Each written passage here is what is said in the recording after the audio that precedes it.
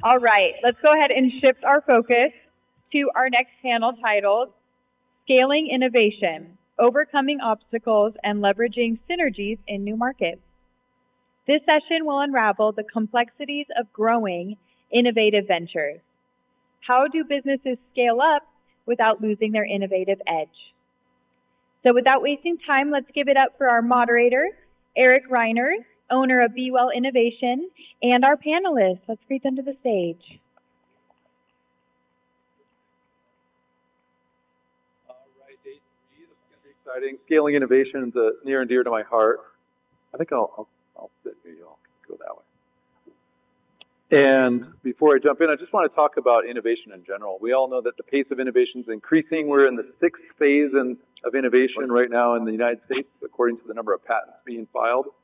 The challenge is it's not always equitable, accessible, and it doesn't always meet the customer needs. So the pace of change might be going really quickly, but people cannot necessarily change as fast as that pace of innovation. So we're going to talk about practical methods and tools and ideas to help you actually scale innovation and deliver it to real world customers and real world use cases. So I'll give everybody a chance to introduce themselves, and I'll start with myself.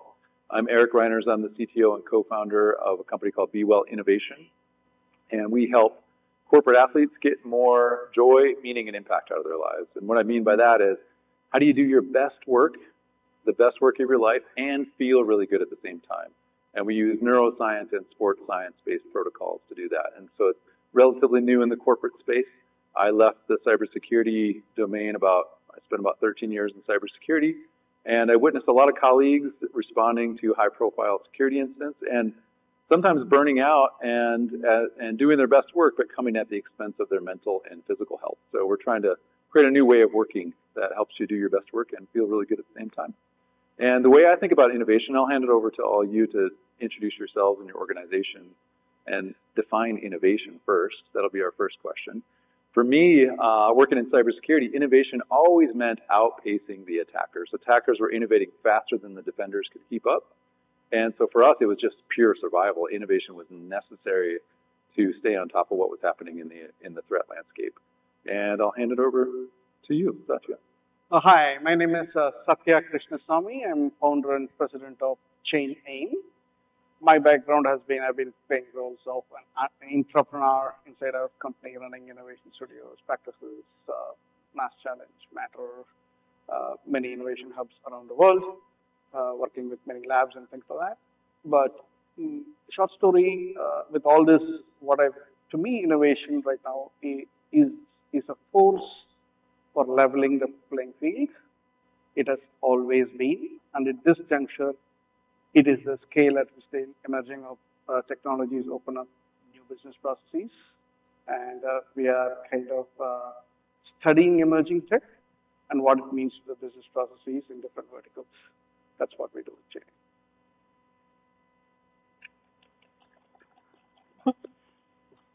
All right. Um, hi, my name is Esther, and I'm from the other part of the world. I'm from Malaysia, but I've spent quite a bit of my time, about close to 10 years in New Zealand and some parts of my life in Singapore. So currently based half in Malaysia, half in Singapore. So I'm um, I'm a you know I'm an entrepreneur um, from COVID time. So the business that I'm running right now is a COVID baby. So um, it's about four years now. I'm running an international business and management consulting company um, for that region, um, particularly aiming in the Asia Pacific region. So we help companies to look at new ways, um, entering into new markets, um, going in and coming, um, going out and coming in.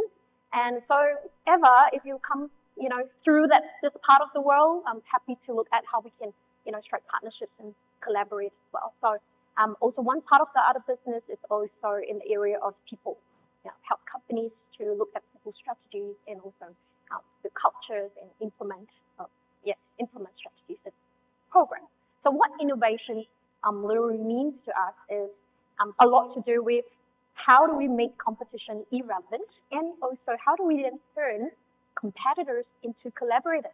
So it's something that um, really, really love to focus on. All right, thank you. well, good morning. I'm Gary Michelle. Um, I uh, do advisory and uh, uh, mostly advisory work uh, with uh, with companies, leaders, and investors uh, around transformation um, and growth. Um, I am a former CEO. I have worked in a number of different businesses over my career, uh, working mostly on transformations, uh, looking at businesses that need to get from point A to point B, and uh, and working on philosophy to do that. Um, I recently published a book called Decomplify, which talks a lot about my philosophy about um, simplifying processes and relationships um, in, in, your leadership style in order to uh, to innovate and to transform businesses. Uh, when I think about uh, innovation, I think about challenging the status quo and pushing the boundaries of what is what is what is capable.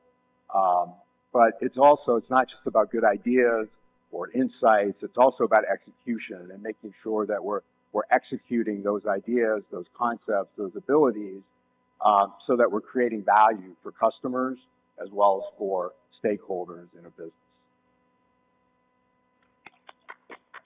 Thanks, Gary.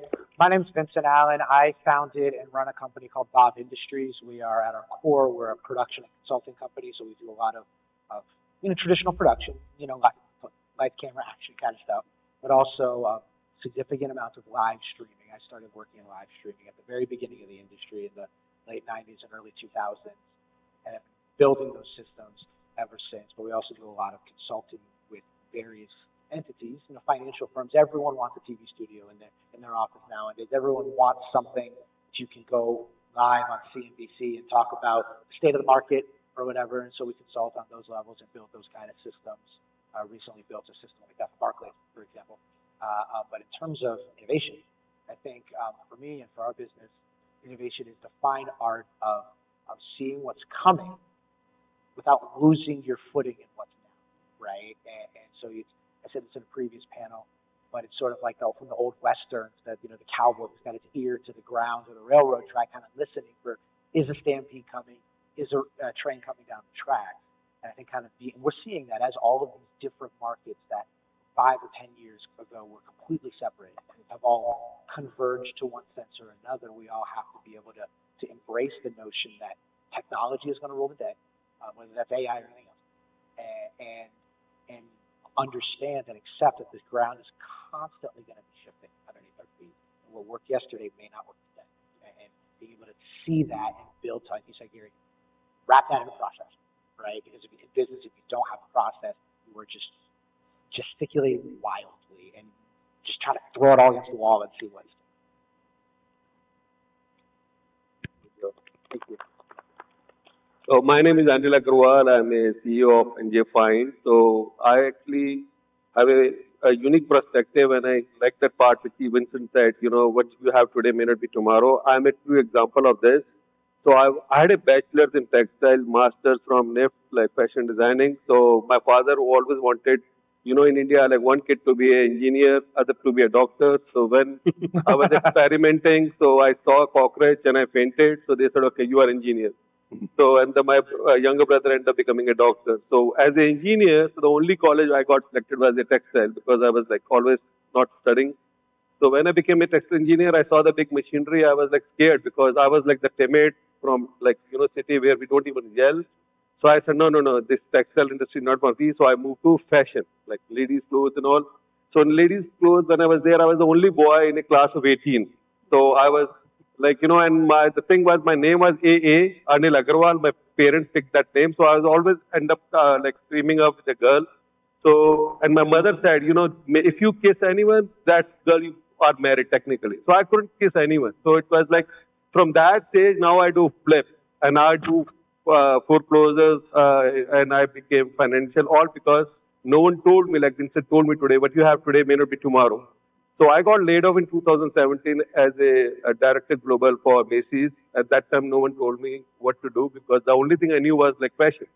So it was very hard for me. That the word innovation is very well reflection of me because no one that time like was supporting only my wife because so luckily you know thank God to her because she took care honest of running the show in my house and giving me privilege to go out and do what I wanted. So when I was uh, going out, only thing I've figured out like I can do because there is nothing else I can do. The company they were hiring me, they were giving me one fourth of salary I used to make, and then I had no idea except for dot com and Gmail. That's it.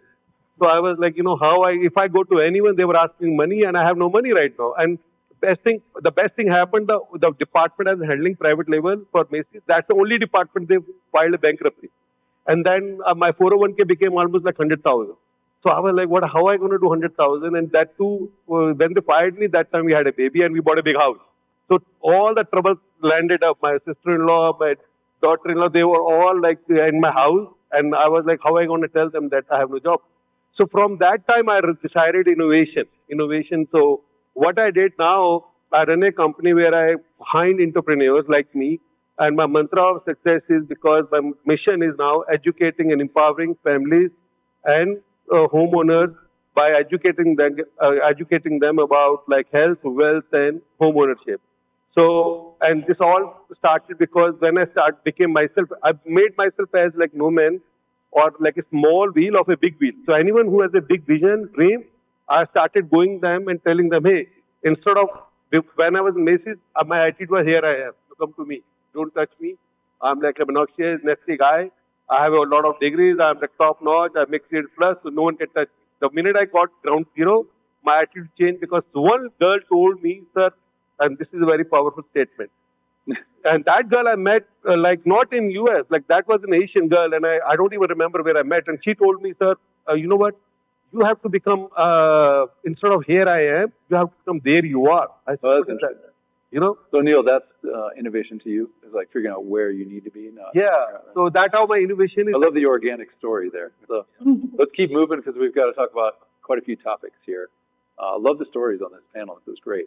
The um we talked a little bit about process there, and I really want to focus on culture because you can stifle innovation or you can encourage it in your cultures. I love the organic process, and sometimes it comes out of nowhere. So Esther, I'd love to kick it off to you and just like, how do you create and sustain a culture of innovation, and how do you think about that? Do you hire for it? Do you train? Like, there's some ideas there. Yeah, no, excellent. Um, great question. All right, so um, it's coming back to what innovation, like, you know, Steve Jobs says, you know, innovation distinguishes between leaders, leaders and followers, right? So um, I, I personally think, you know, innovation's got a lot to do, um, you know, with leadership as well, you know, like, um, so when it comes to how do we foster, you know, this sort of culture, it's got a lot to do with um, how do we, you know, implement it, um, you know, through, you know, through the different, um, you know, environment that we're creating in the organization.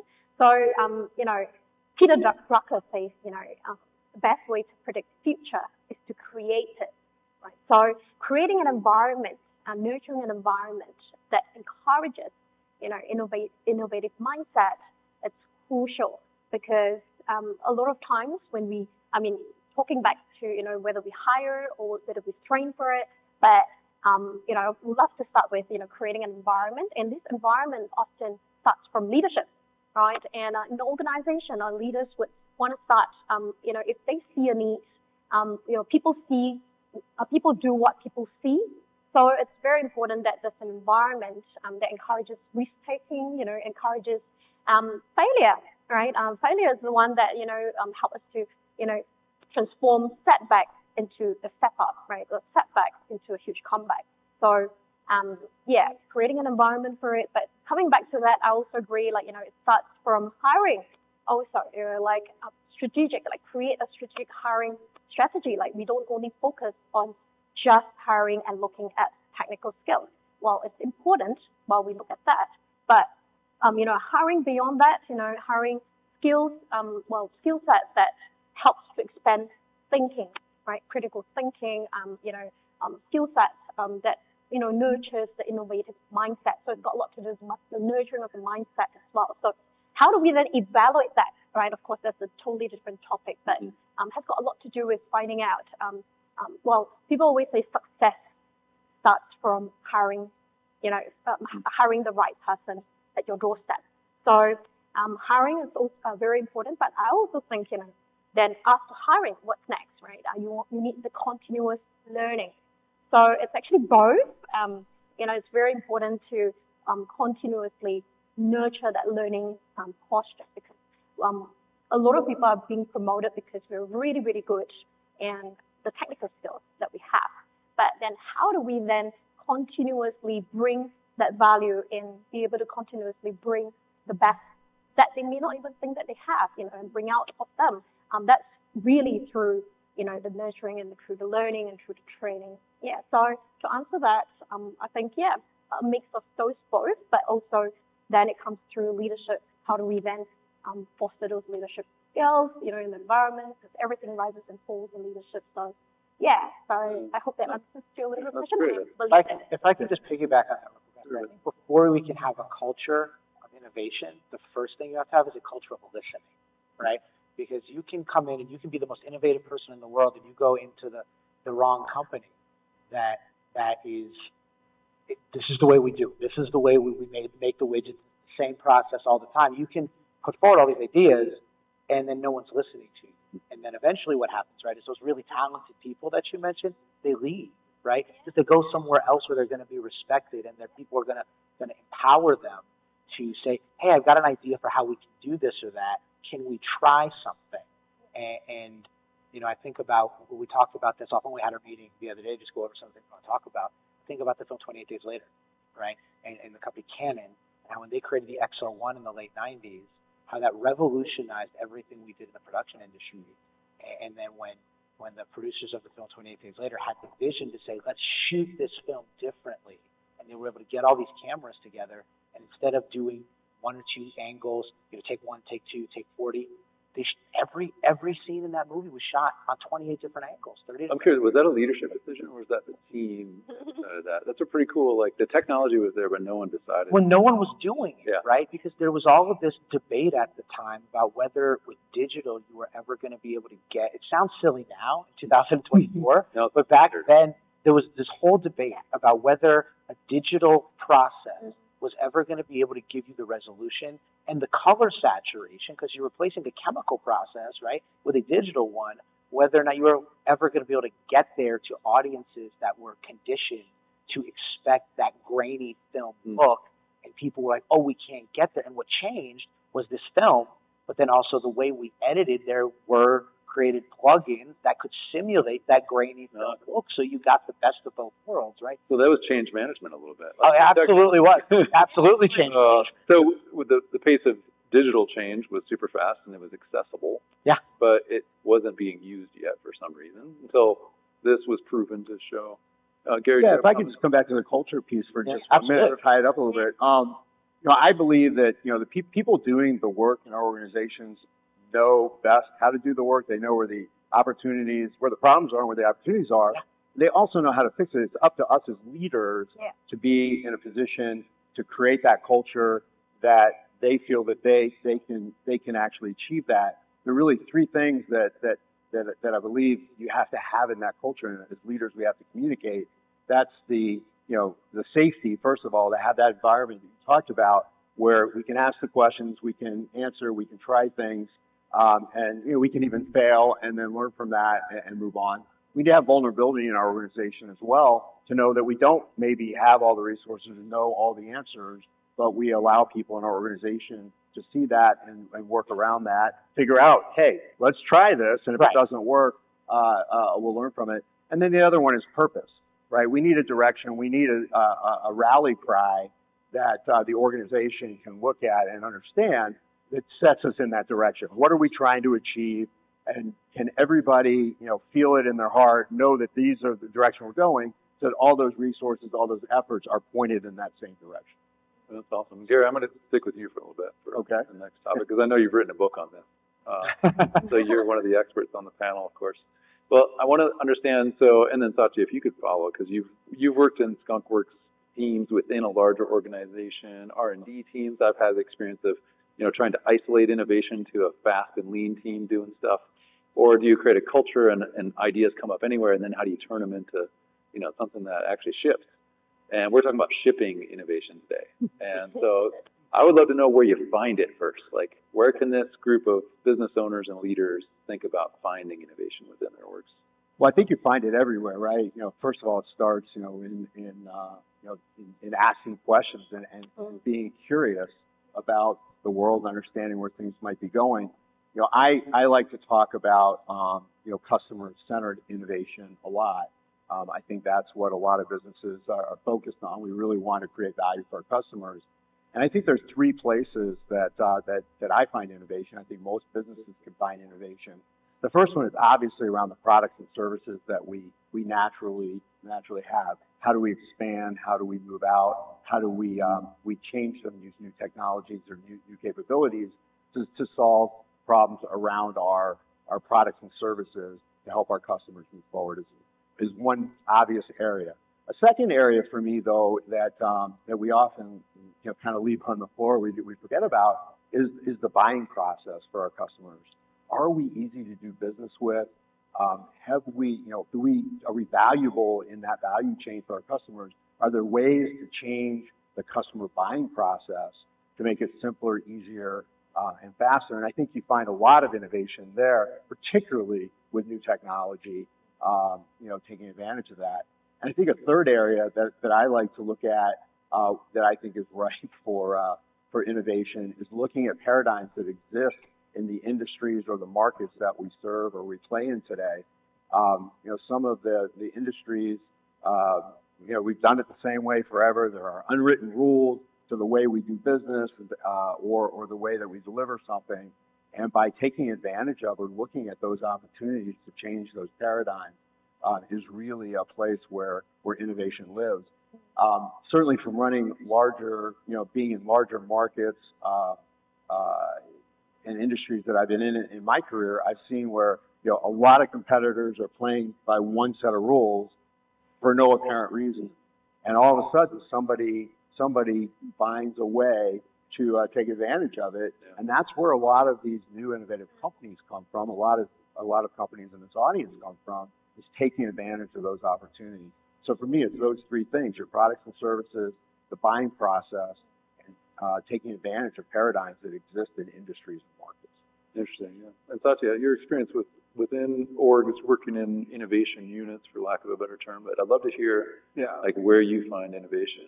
Yeah, I'll touch upon a little bit of what Gary was talking about. We have been talking about organizations, right? So big organizations have been doing, you know, ingrained innovation across all departments, maybe a separate department inside the company at the periphery. Uh, whatever uh, combinations people are doing, it, it's still getting harder and harder to cope up with the pace of innovation. That's what I've seen uh, within the organizations. But uh, beyond the POCs and pilots, you need to figure out a way to say, is it integral at scale with your operations? That, that's the key element for companies uh, in my mind. Uh, the second part of it is, uh, I think the reason why I say it is a leveling, uh, leveling the playing field is because it is not just for the big companies even if they are a smaller company, small businesses, small units. Uh, you now have the opportunity to be able to try out new things. And that's what, I, I'll give you an example, right? Uh, mortgage processing, six weeks. Now there are, uh, you know, on-chain mechanisms that can do it in 48 hours. That's, that's a huge uh, uh, dimension of, you know, change. It's just a question of what that, uh, what it takes for us to scale this to the next level, right? So the scaling operations is around what the companies did it in a, in a different way. And I'm also seeing another important uh, dynamic, uh, which uh, might be new to, uh, new to uh, some people, which is, which is basically self-organizing units that the Gen Z players are playing. They are truly global, loosely connected guilds, and not companies. Mm-hmm. So what they are, we are still figuring it out. But people come together on a weekend, they come up with an idea, Monday morning, somebody is funding it, there you go. And So that's the- easier when you're a small organization, right? It's a small If three people in a garage, you can do that, or three people in different countries even. the, the, the part, Yeah. the, what is surprising me is, uh, these, these treasuries of some of these foundations are bigger than what even bigger companies can afford for Mhm. innovation. That's So something is it- to, would we agree, I'm curious, Neil, on your starting a new company and, and Vincent too, like, would you agree that as you get bigger, it gets harder to innovate, or would you throw that, throw that out? Well, I think that, I- mean, certainly it's much harder to steer a large vessel than a small one. Yeah. Right? I think the, what, the things you have to do when you're running a big company, in order to, you know, make payroll and do all, you've got all these people that work for you, and you have to have processes. If you've got five thousand people working for hmm. you, and you don't have everything wrapped in a process and a change management. Like this forty-eight hour mortgage thing. Right. That Yeah. can affect every other department. If you don't have a process with a large company, then it, it will be chaos. Yeah. Yeah. Right. So I think with a small company, you're, you're, you're able to be much more nimble in terms of what's important to you and where you want to spend the dollars. Right. Uh, um, I think that the thing that a lot of people have done over like the last 10 years is you have a lot of huge companies like JP Morgan Chase who will have these, these skunk works or like, you know, a SEAL team kind of squads where you've got two guys from IT, two guys from data science, and you know, just on and on and on, and where they create a small business unit that's pulling various different verticals that creates that small company feel. So it's still a Yeah. cross-functional effort, but with a kind of a team pulled together. hundred percent. We used to call those fusion teams. Yeah, and Anil, what do you think? Luckily, you know, uh, uh, because the panel is a mix of um, different fields, so I'm like SMB right now, like small scale right now. But what happened is because I was working for a big corporation, so there we had a big CRM, we had multiple teams, meetings. So all of a sudden it became like me, and you said like garage, right? So only motivation I had was like X stories of X people, like they start with garage and all the stuff, and plus the aging and the family. So in my situation, I learned instead of employees because I was an employee, I started banking on entrepreneurs. So I cut down that parameter totally. Like you know, I don't want to hire. So in my company, we do million plus now, but there is no employee. So everything is in a CRM. So we use a free tool like HubSpot. So now the HubSpot I use for my real estate. But the beauty is now because I was in the clothing industry, so same HubSpot now I give it to the clothing industry as a consultant. The companies who basically were using different software, I use the same software. You built a product so you could. N- No, using the same product but customize it for the clothing industry because I used it for myself. So HubSpot, I was showing it to the outside someone. You know how you can scan a business card, how you can send an email, how you can create a CRM using a free tool, right? So now on that part, I'm not dependent on any employee. Now, third thing I learned when, because it's always uh, cost effective to retain a, a person rather than training. Because training is very expensive. You know, when you train an employee and you were asking, right, how you retain them, you know, if you don't do it like justice to them, they're going to go, right? So now the training part needs thinking like people like you need to be sitting who can understand the employee. What if you have a nasty boss? You don't. He's just thinking about his boss uh, position. He might let that employee go, right? Because he took a wrong decision. He might hire someone like you know it.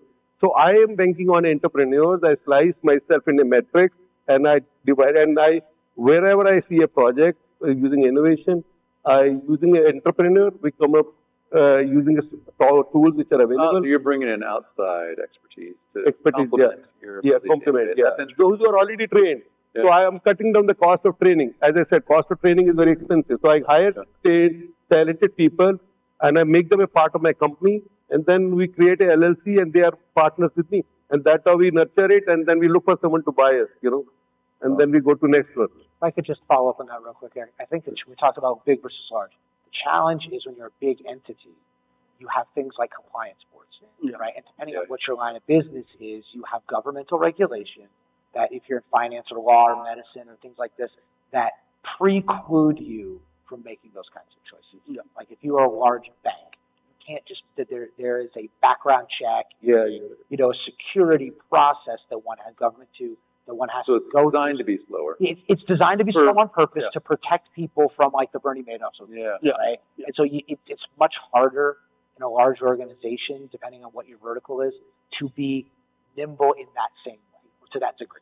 But there's, but there, it's in every organization. Not every organization, not every, not every, uh, commercial enterprise is that highly regulated. Sure. But they regulate themselves. It becomes a risk management type of a, Yeah. uh, Yeah. uh, of an environment. And you've got people, you've got people that have different styles. You have groups of different, different styles of change within a business. And what you've got to do is make sure that you have that, you know, have that direction, have that purpose set, right? So that everybody understands what you're doing and start eliminating those areas. Yeah. Part of, part of innovation is eliminating that, you know, that, that, that girth, right? That, Yeah. That, uh, you know, the shackles that keep you from being able to grow, keep being able to lead your organization and, pe- and, and being able to deliver. At the end of the day, it's all problem solving, Yeah. right? What problem are we trying to solve and for whom, right? Yeah. right? And if we work at that as, as a team, I want to, then you, you, you, you can get there. Yeah, let me check. big Um, Carlos, we got fifteen? Okay. let's, I'm gonna, Uh, stop. You can go real quick, how about? Yeah, the, the final point about where, where are the users, where are the Hmm. customers, that becomes important because that landscape is also changing, right? Hmm. It was used to be websites, then mobile apps, but now they are communities. Hmm. So that's a very interesting change. Yeah, that is interesting, yeah. in Every word. You can start a movement now. Yeah. Yeah. And you don't need an organization. Yeah. Well, let's move on to our next and second to last question, everyone. I know you're really excited about that. Third day of the conference. Okay, we're gonna get practical here. I would like to actually talk about scaling to real-world customer problems. And, uh, and Satya, why don't you lead this one and start with like an example of how you put something into the, you shipped it, customers took it up, maybe they even provided input on the way, and like, what was the time to market on that, and how did you actually get it done? Yeah, so uh, from a company perspective, let me tackle that, right? So you really, once you do the pilots and the POCs, uh, you, you really need to have a real operational problem, and that's where companies stop, stop, stop, stop, stop, and then they go into a circle, right?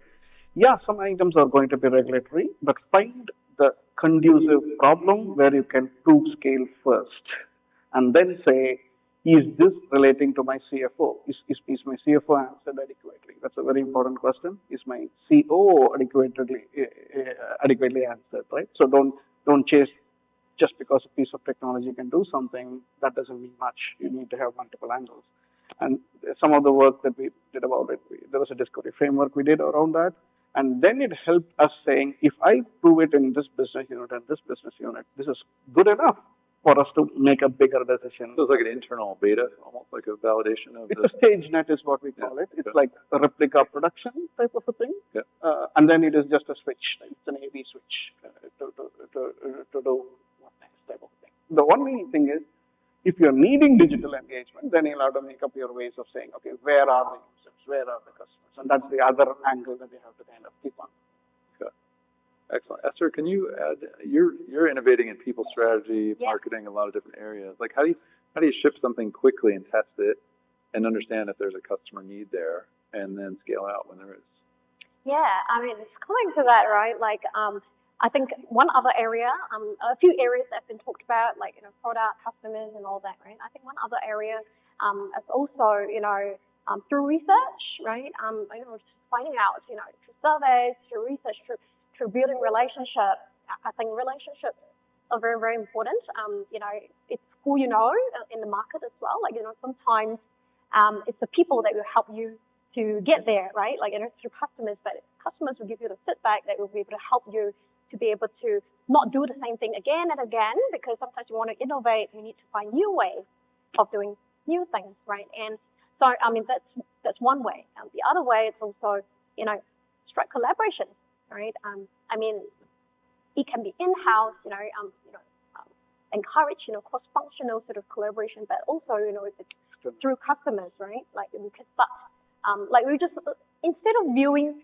competitors, how do we then turn them into collaborators Oh, as well, interesting, right? So, um, so through collaboration, through strategic partnerships, I think it's also one great way to be able to then look into new ways of doing things because they could be really good in this area that we, that um, that we're not so good at, and how do we then leverage um, synergies, and how do we then strike partnerships to be able to then um, yeah skill innovation in one area. So the third area that I'm also thinking is also um, leveraging a new market, right? I mean, this topic is also about scaling innovation into new markets. While um, one market could be very strong in one area, like say, for instance, like in America, technology is really strong, right? And then from the area that I'm from, like you know, in Malaysia, um, it's um, a totally different area. We're probably very strong in agriculture, for instance.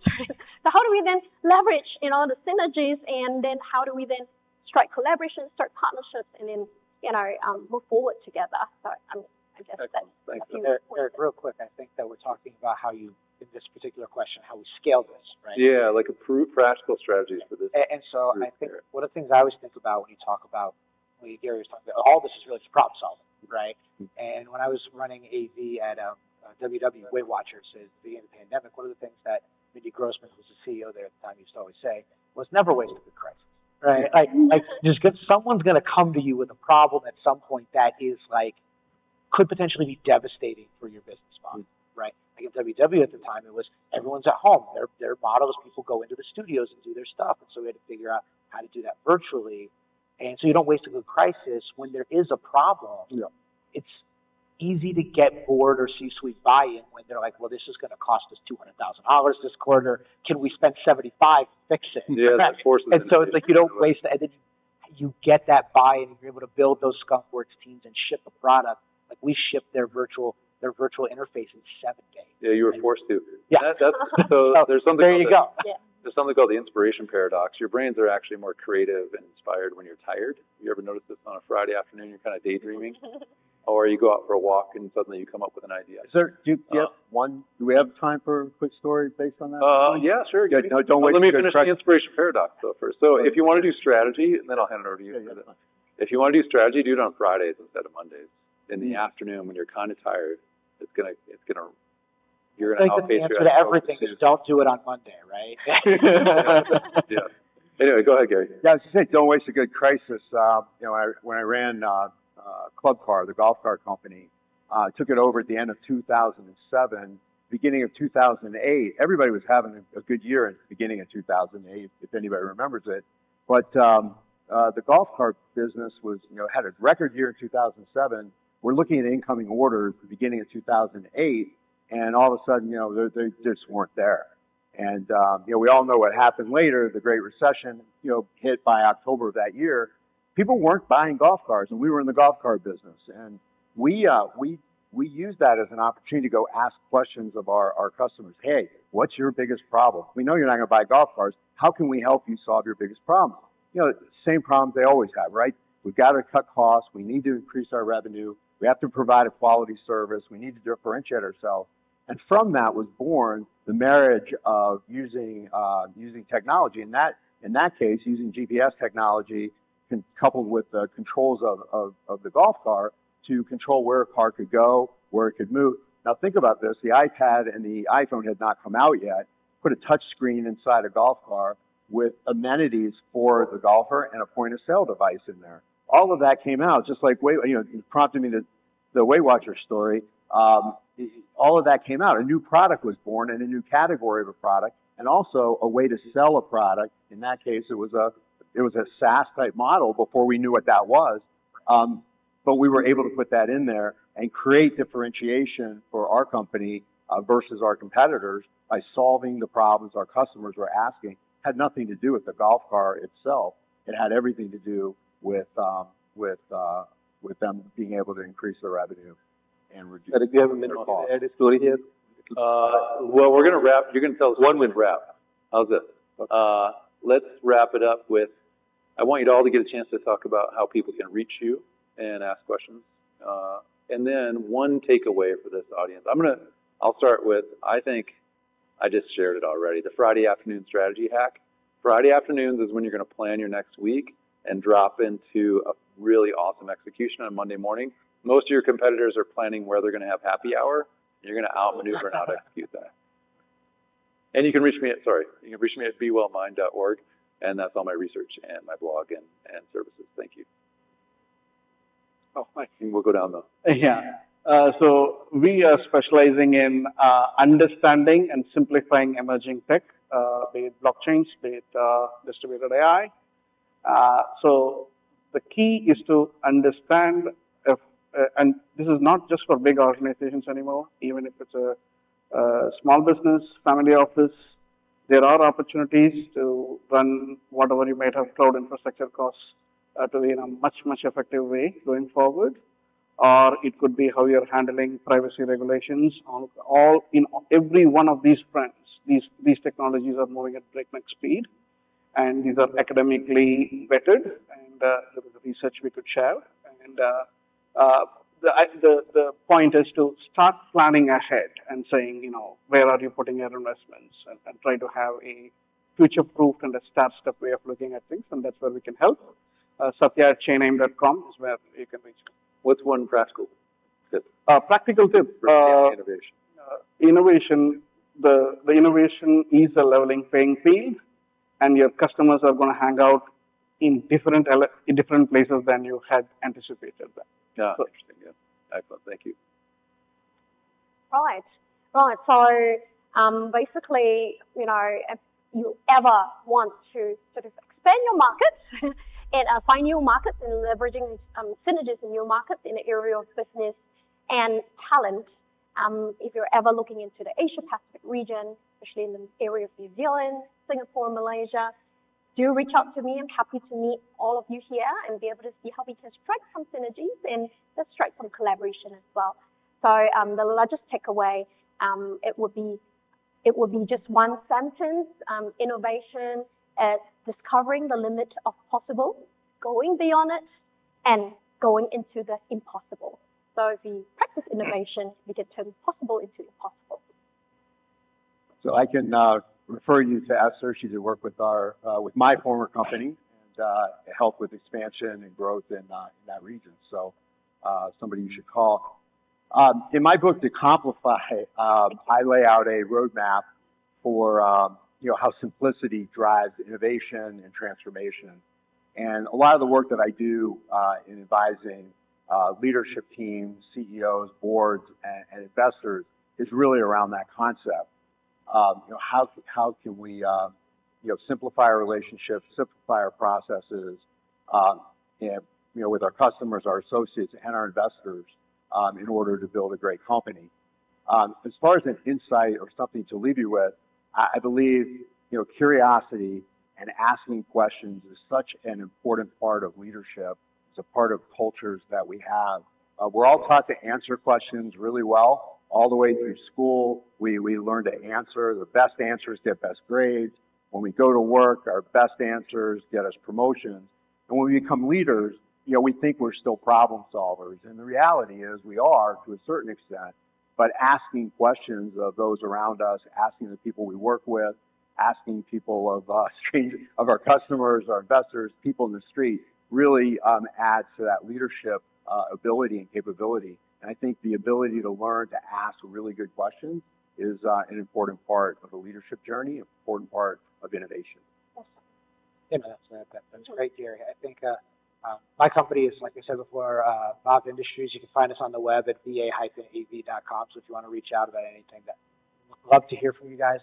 Um, quick tip or, or tidbit is, you know, we, we've talked about it all week at all these various different panels.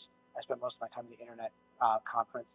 But where we find people, where we find our answers, isn't what it was yesterday. Yeah. The, the, the marketplace, and it's been this way for a little bit. Like this is not necessarily revolutionary or brand new, but it's out there on the web. It's in social media now. It's in into the VR sphere. It's, that's where we find these things. So we have to be able to start sourcing things in that way. Not everything's going to be in your office. You're not always going to have someone sitting there reviewing the CAD drawing on the conference room table the way we once did, right? So we have to begin to, you know, you know, evolve into new markets, right, and, and new places where we find our where we find our things that we need that we need to find, and that's what we do really well. Is we help you sort of evolve into that, doing things in a more digital, you know, more decentralized, you know, kind of way. One tip, is you got one tip for the audience? Yeah, no. One, one tip. I, I mean, I think your customers have when you're you're building into new markets and you're trying to build new stuff. Your customers have to know where to look for you, right? And, and in today's world, if you never stepped into this VR or gamification or a live streaming or any of these kind of things that people are, are all the rage right now.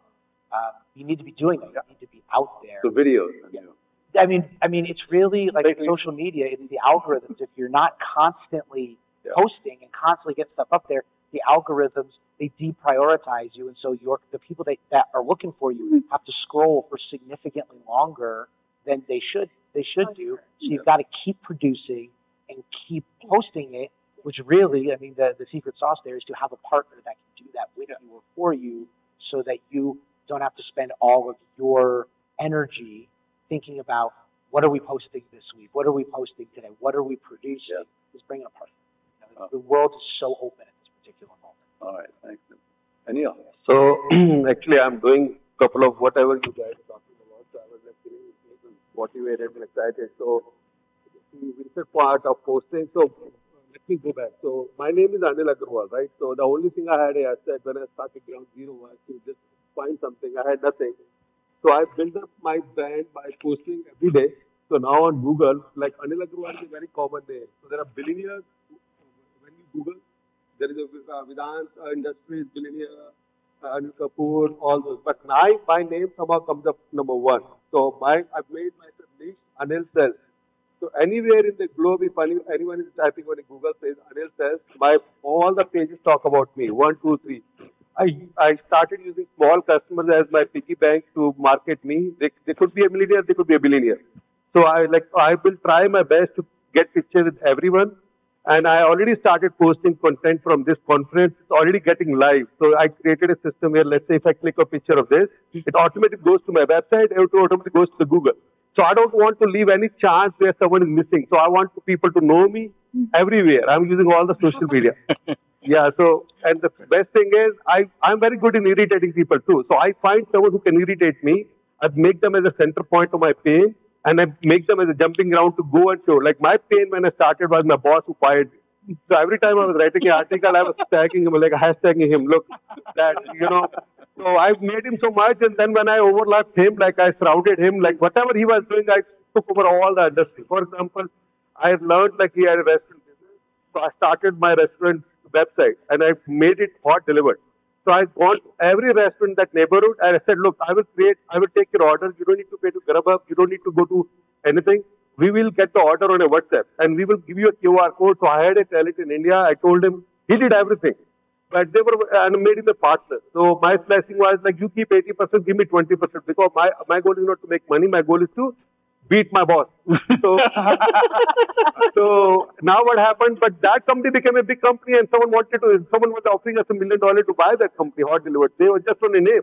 So the idea became a necessity because someone was paying me enough. So what I'm trying to say, like I've made myself a pain to gear up. I'm doing what you are talking about. I'm doing what you're talking about, like innovation. You know, when you have a product, golf cart, no one wants it. No one wanted me. So I made myself as a product. I said, look, I have to become a product. So I, I no one wanted to see myself. I was like, okay, people know Vincent. I will stand next to him and I will tag Vincent. Tag.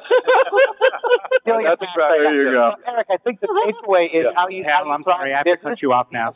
How There's- possible. Vincent, I'm sorry, I have to cut you off now. We're way over. We have an award Yeah, yeah. Thank you so much. Thank you everyone From for the time. team in India. So sorry. Folks, No let's give it up for our panel. Thank you so much. If you have any questions, please.